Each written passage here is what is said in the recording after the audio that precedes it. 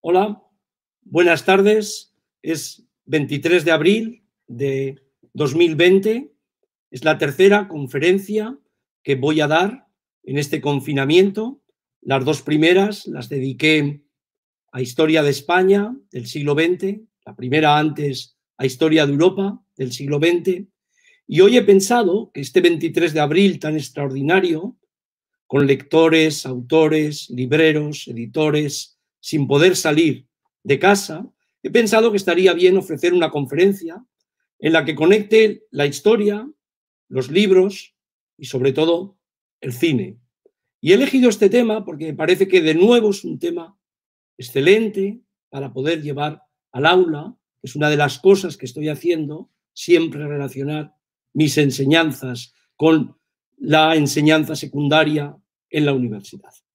Así que esta conferencia se titula Cine, ficción, historia, siete películas para viajar al pasado. Y tengo que agradecer antes de nada a José Escribano de informativos.net, que hará posible, va a hacer posible la difusión en varias redes sociales de esta conferencia a la vez.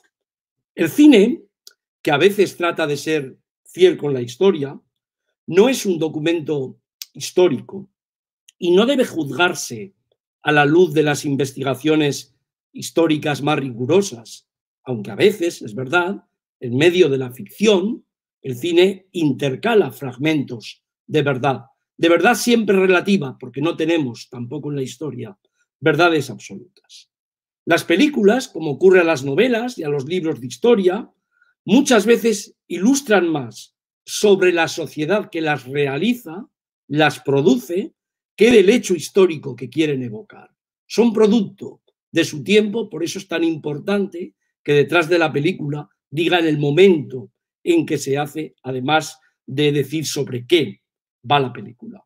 A los historiadores, como ya advirtió hace tiempo eh, Marc Ferraud, uno de los grandes historiadores franceses que han conectado el cine y la historia, que hizo muy lúcidas observaciones sobre cine e historia, él ya advirtió que a los historiadores nos interesa muchísimo la relación entre el pasado y el presente. Pero no podemos estar siempre juzgando los historiadores el cine con una mirada erudita, de verificación de la autenticidad, haciendo de jueces a ver si la autenticidad o no existe en la película. Exigir a una película que cuenta en 90 minutos toda la verdad, ¿eh? eso que llamamos la verdad, que nosotros no somos capaces de contar, a veces en cientos de páginas, no parece justo. Hay muchos ejemplos de esa relación feliz o infeliz entre el cine y la historia. Yo les invito, solo voy a citar un libro, les invito a que vean el libro de José María Caparrós Lera, 100 películas sobre historia contemporánea, que editó ya hace muchos años, en el año 97, Alianza Editorial. Lo que voy a introducir aquí son siete películas y una de regalo, un epílogo, que sirven para analizar grandes acontecimientos históricos, para indagar en personajes, en ideologías, en fenómenos políticos y sociales. Y salvo alguna excepción van a ver que todas tienen visiones globales. Todas las películas, además, repito, hay alguna excepción, están basadas en grandes novelas y todas son sobre el siglo XX, porque yo sigo con el siglo XX y sigo pensando mucho en estudiantes de bachillerato. En una exposición tan breve como la que voy a realizar aquí, en media hora, como todas las conferencias que estoy dando, no me, no me voy a fijar, no me voy a fijar en si esos directores y guionistas explican bien o no la historia, ni en la organización estética de las películas, ni en la lógica analítica de las películas. Me voy a, me voy a, a fijar en la utilidad que tienen para la enseñanza en la utilidad que tienen para que el historiador, o en la enseñanza secundaria o en la universitaria, advirtiendo siempre sobre la fidelidad o el falseamiento de la historia, que para eso está también nuestra mirada al cine, introduzca a través del cine fenómenos tan relevantes como las relaciones del poder, el poder no siempre es político, las relaciones de poder también son culturales, familiares, el funcionamiento de la sociedad, los conflictos de clase o la manipulación a través de la propaganda. Verán como todos estos temas, muchos de ellos, aparecen en estas películas que empiezo ahora. La primera, con la primera película cruzo el Atlántico, ahora que no se puede, y nos vamos a Estados Unidos. Y es Las uvas de la ira, de John Ford, de 1940, con un argumento basado en la novela homónima de John Steinbeck, publicada un año antes, en 1939. Fíjense que empiezo con uno de los mejores directores de la historia, algunos dicen que el mejor, y uno de los grandes novelistas del siglo XX. Y además unos autores, actores excepcionales. Henry Fonda, que era Tom Joad en esta película, y sobre todo Jane Darwell, su madre, Ma Joad. ¿no? Es una película siempre de actualidad. ¿Por qué? Porque las enseñanzas que da la película son las enseñanzas que pueden sacarse de las crisis, de las grandes quiebras. Aquí también estamos ahora en una crisis, en una quiebra, con un retrato preciso en este caso de la sociedad capitalista moderna que comenzaba a consolidarse en Estados Unidos, empresarios poderosos que expropiaban tierra, campesinos, en este caso los Okies de Oklahoma, que emigraban en busca de la tierra prometida, la violencia de algunos conflictos sociales, raciales, es decir, temas universales. John Ford, como hacía también Steinbeck, retrató aquí el clima de desolación, de pobreza que afectaba a una gran parte del pueblo estadounidense tras la crisis, el Gran Crash de 1929. Es también el retrato nostálgico de un pasado perdido, de un pasado idílico, de un pasado más simple que ese complejo de la sociedad industrial que empezaba a ver en Estados Unidos. Y es también una mirada nostálgica y recuerdo de la Irlanda natal de John Ford. La escena, acuérdense de esta escena, la escena en la que Jane Darwell, la madre, ¿no? Quema sus memorias, sus recuerdos, así literalmente, antes de que la familia emigre a California, es uno de los momentos más conmovedores del cine del siglo XX. Esto es un reflejo también en muchísimas sociedades. Quemar los recuerdos, olvidar los recuerdos, dejar atrás los recuerdos. Y frente a esta gran quiebra económica, política, vinieron las políticas del New Deal de Franklin Roosevelt ¿eh? y tuvieron un impacto muy positivo en millones de pobres, blancos, negros, especialmente en el sur. Tenemos los historiadores cientos de miles de cartas que dan testimonio de cómo le escriben a Eleanor Roosevelt, a Franklin Roosevelt, el matrimonio en la Casa Blanca, agradeciendo esas políticas sociales, diciendo en qué situación de angustia, de quiebra se encuentran. Por supuesto, Ford introduce una apología del pueblo humilde, de los valores liberales, izquierda, de esas políticas de Roosevelt que sitúan en el centro a Tom Joad, a Henry Fonda, el héroe fordiano, fordiano de las películas de Ford, siempre sometido, dominado por un ambiente hostil. Aquí el ambiente hostil son también los grandes propietarios terratenientes que no quieren las reformas, también movimientos desde abajo que quieren reformas más radicales, en un momento en el que en, Estados Unidos empezaba a sentir también el temor al bolchevismo. En fin, es una constante composición de palabras, de imágenes, de personajes reales y de ficción. Es un testamento de su tiempo y espero que la podamos llevar, que ustedes, los enseñantes también, la podamos llevar muchísimos años a las aulas. En la segunda, la segunda película, viajamos a África. Viajamos a África para explicar la difusión del sentimiento imperialista que contagió desde finales del siglo 19 a amplias capas de la sociedad europea más avanzada. Pero no solo a la gente de orden, también a las capas populares. Sectores más avanzados de las sociedades europeas que fueron contagiados con una mezcla de nacionalismo, militarismo y racismo.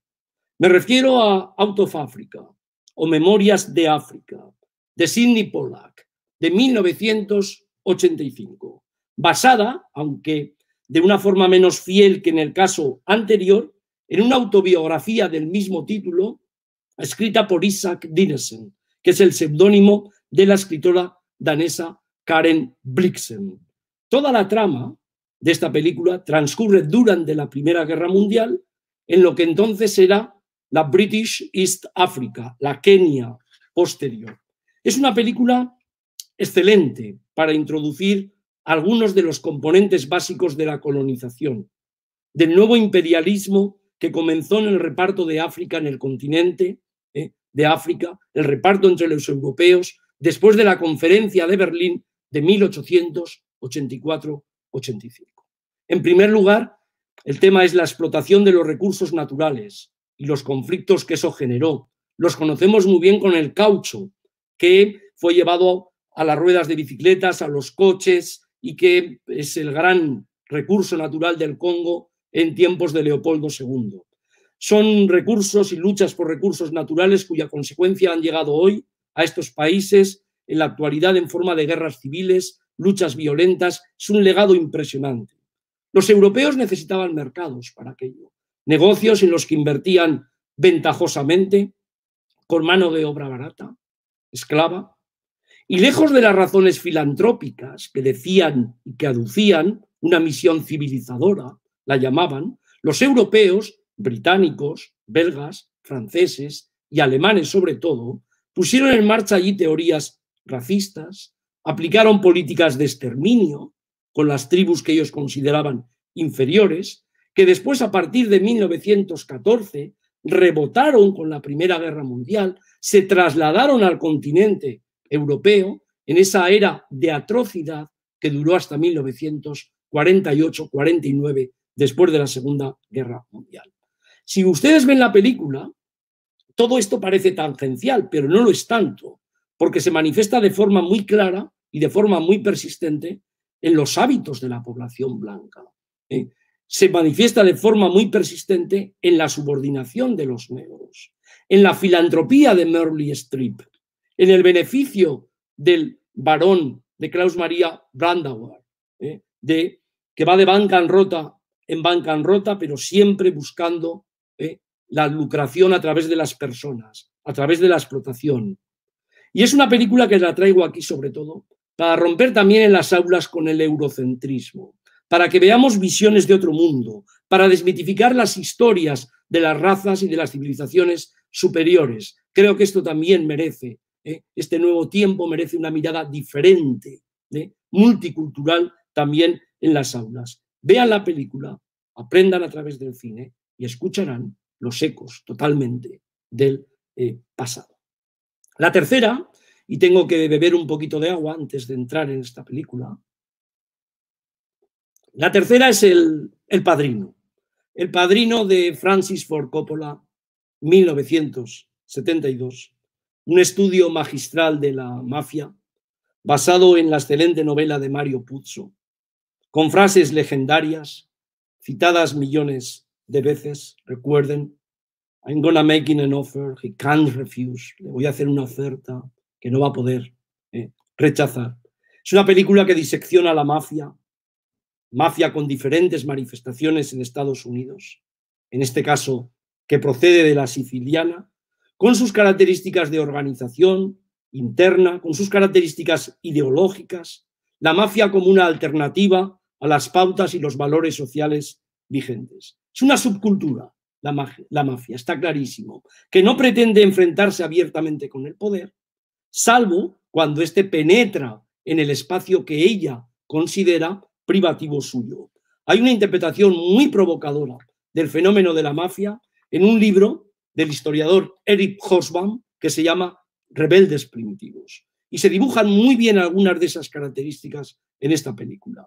Se dibuja el, típico digamos, modelo de organización, con ritos de iniciación, juramentos, escenografía, que venían legados de las sociedades eh, masónicas y carbonarias de principios del siglo XIX, que eran heredados algunas veces también de los gremios medievales, lo que conecta la mafia con los ritos tradicionales. Son estructuras tradicionales de clientismo alrededor de un patrón, del que emanan toda una serie de concesiones gracias a su connivencia con unas estructuras administrativas ineficaces y corruptas.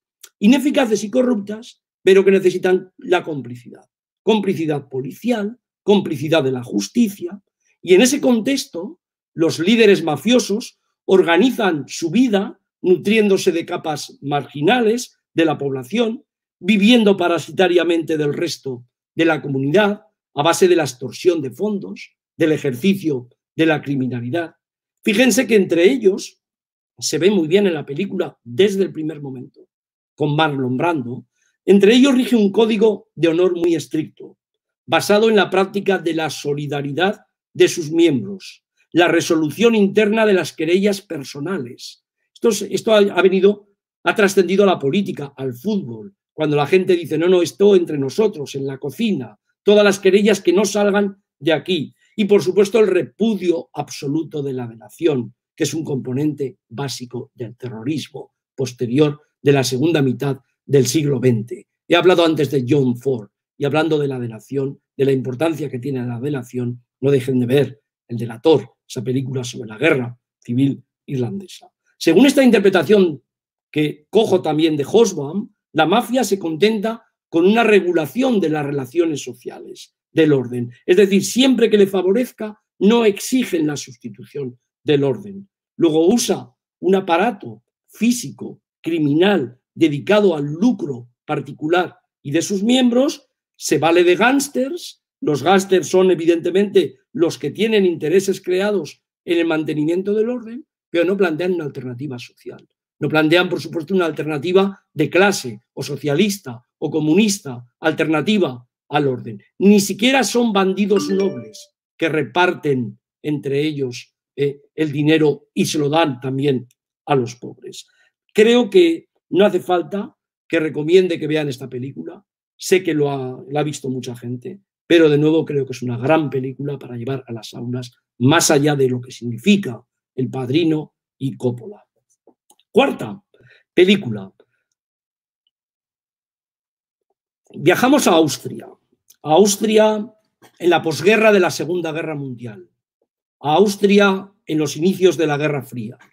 Y nos detenemos en El tercer hombre, de Carol Reed, en 1949, que está basada en un argumento y guion que se publicaría muy pronto como libro, como novela, de Graham Greene, ese famoso escritor británico que proporcionó además notables argumentos al cine. Acuérdense del factor humano llevado a la pantalla por Otto Preminger en el 78.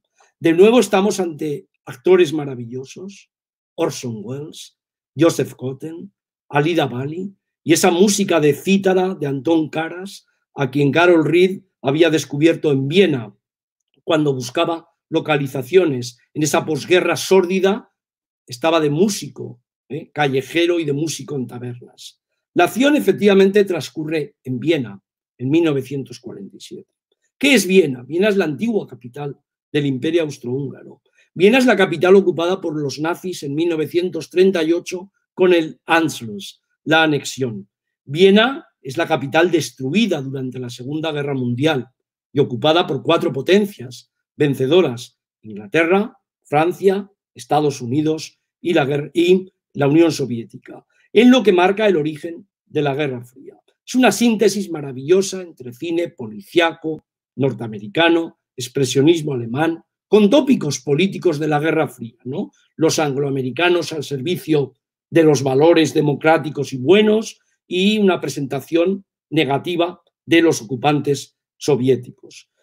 Viena es una ciudad como Berlín o Budapest en 1947-48, dominada por la escasez, dominada por la pobreza, dominada por el hambre, por el tráfico y corrupción de productos racionados, en este caso la penicilina, pero podríamos ir a la España de posguerra y podríamos ir a las grandes novelas, a la colmena, a tiempo de silencio, a Se te dicen que caí, a las últimas novelas de Almudena Grandes, o nos podríamos ir al ladrón de bicicletas, esa posguerra que para España nos parecía que era única y es una posguerra, como digo, sórdida, cruel en la mayor parte de los países.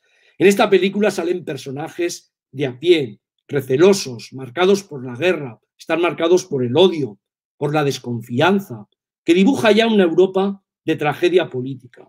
Era también esa filosofía de, de Graham Greene, ¿no? el bien, el mal, se cruzan en las civilizaciones, pero también en las personas que representan a las civilizaciones. Y se observan comportamientos morales y políticos muy diversos, con una guerra que ha acabado, la mundial, y una guerra que la van a llamar fría, que acaba de empezar. Es un complejo arreglo político, militar, lleno de espías, que parece que estabilizó Europa, eso dicen, hasta que en los años 90 saltó todo por los aires en la vieja Yugoslavia, en la antigua Yugoslavia, pero que además de estabilizar o no Europa, esta Guerra Fría tuvo consecuencias enormes en forma de guerras, conflictos en otros continentes como Asia, África o Latinoamérica. Es decir, es una mirada desde Europa, pero se puede llevar perfectamente a las guerras coloniales, se puede llevar a la continuación de la guerra en otras geografías, desde Argelia a Vietnam. La quinta, viajamos a España por primera vez en esta tarde. Los Santos Inocentes, de Mario Camus, de 1984, basada en esa breve novela, precisa, preciosa, de Miguel Delibes. Seguro que la ha visto mucha gente, no me voy a entretener en ella, eh, en el guion ni en nada de eso, pero sí que es una excelente película, de nuevo, para los estudiantes de bachillerato, para tratar tres temas de larga duración, de persistencia en la historia de España. El primero, la persistencia del caciquismo, de las relaciones de subordinación, de obediencia de los campesinos hacia sus señores, terratenientes, capataces, en este caso en la Extremadura de los años 60, pero podía ser en cualquier otro sitio, del latifundio, de la mitad sur de España. El segundo tema es el funcionamiento de ese sistema de caciques, terratenientes, muy conocido por los escritores, por los historiadores, y la novela y la película invitan a una reflexión sobre las raíces del poder, sobre los orígenes sociales del poder. Aquí vemos una relación o una red de relaciones personales en un mundo de cultura escasamente letrada, de analfabetismo, con altas tasas, en aquel momento todavía de analfabetismo, donde el cliente, el súbdito, a cambio de fidelidad, espera del patrón beneficios relacionados con la tenencia de la tierra, el precio de los arrendamientos, los préstamos del capital, empleos estables, reparto de trabajo. Es decir, le dan ventajas administrativas, favores, utilizados de forma arbitraria para tener controlado al súbdito, que es casi un esclavo. Pero hay un tercer tema, mucho más importante, porque frente a esa vida angustiosa de los labriegos, de los agricultores, que ya había denunciado a Zorín en las páginas de Andalucía trágica de principios de siglo, la película no propone la protesta, no propone la huelga, la rebelión abierta, algo además muy difícil en esos santos inocentes en plena dictadura, sino que propone la sobrevivencia, la dignidad, el respeto dentro de la obediencia, que no les humillen. Se lo dice Paco Raval a su primer patrono, a Zarías, al primer amo. No se ría de mí, señorito, por sus muertos. Todos se acordarán de aquella frase. Y además no propone eh, una protesta, sino salir de la miseria para sus hijos a través de la educación, de servir en la ciudad para las chicas. Aquí hay mucho género, en esta película, en casas que además tienen los propios señoritos. ¿Se acuerdan de aquella famosa conversación en la que Terele Pávez, eh, Régula, le dice a su Paco, Alfredo Landa, con una pizca de conocimiento, podrán salir de pobres. El sueño de que los hijos no repitan la pobreza, el sueño de que los ricos no quieran perpetuar siempre la ignorancia en esas clases eh, subordinadas, desposeídas, pobres. Pero todo ese entramado de sumisión, que lo explica muy bien la película, de obediencia, de explotación, tiene un límite, que la película no refleja, repito, con la acción colectiva, sino a través de la indignación moral. Un concepto que nos gusta mucho a los historiadores desde eh, los libros de Jim Scott.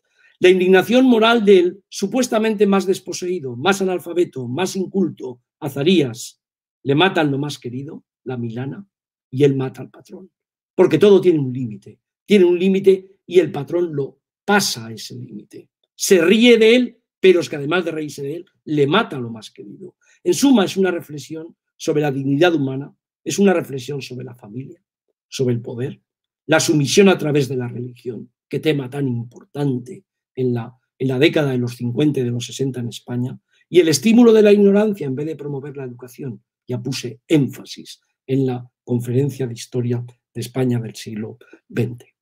Nos vamos a la sexta película y viajo a Latinoamérica. Viajo a Latinoamérica y a las dictaduras del Cono Sur, a historias más recientes, a sangrientas dictaduras de los años 70. Podría elegir Argentina, y sé que hay argentinos siempre siguiéndome y chilenos, podría elegir Argentina y esa historia oficial de Luis Puenzo, qué maravilla de película. Pero he seleccionado Desaparecido, Missing, de Costa Gabras, en 1982, basada en la obra de Thomas Hauser sobre el periodista Charles Horman, desaparecido en su domicilio el día del golpe de Pinochet en septiembre de 1973. Podía haber elegido también de Costa Gabras la caja de música, la memoria, las de, nuevo los campos de concentración, pero voy a Latinoamérica, prefiero ir a Latinoamérica. Remarco, esto es una película de 1982, es una denuncia de la represión cuando estaba todavía Pinochet, cuando estaba todavía Videla, en un momento en que muchos países violaban sistemáticamente los derechos humanos, con la peculiaridad que estaba instalada entonces en Argentina de los desaparecidos, de los campos de fútbol como prisiones improvisadas, de los sitios de tortura, en un momento en el que todavía está el apartheid, lo digo para que situemos siempre el telescopio ante los estudiantes. Y uno de los temas fundamentales de la película es la implicación estadounidense, el viaje de un ciudadano de ese país, burgués, acomodado, al infierno de una dictadura sanguinaria. Al principio, él es incrédulo, cosa de jóvenes que se meten en política, pero después, gradualmente, toma conciencia y toma conciencia y denuncia ¿eh? la situación de la administración norteamericana, la complicidad, impresionante papel de Jack Lemmon. Es una película sobre la memoria de víctimas y verdugos. Es una película que sacudió las conciencias de mucha gente en el occidente acomodado, que se creía las mentiras sobre esos jóvenes comunistas en Latinoamérica, que se merecían el castigo porque llevaban a sus países a la ruina. Es la memoria de Allende y Pinochet. Es la memoria de la República y de Franco. Es la memoria de la República de Weimar y de Hitler. Es la memoria de esos que creen que en esos regímenes es donde está todo el problema y que vinieron algunos salvadores porque aquellos regímenes estaban llevando a sus países a la ruina. Es increíble, pero esta versión está todavía confirmándose en muchísimos sitios. Tenemos que poner rigor y las películas a veces nos lo enseñan también. La séptima es La Ola de Dennis Gansel, de 2008. Aquí ya estamos ante una película más reciente.